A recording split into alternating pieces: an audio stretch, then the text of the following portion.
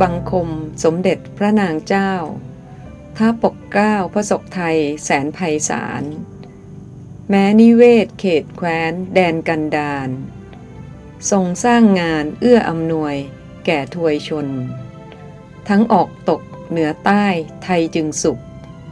พระปลอบปลุกฟื้นฟูเชิดชูผล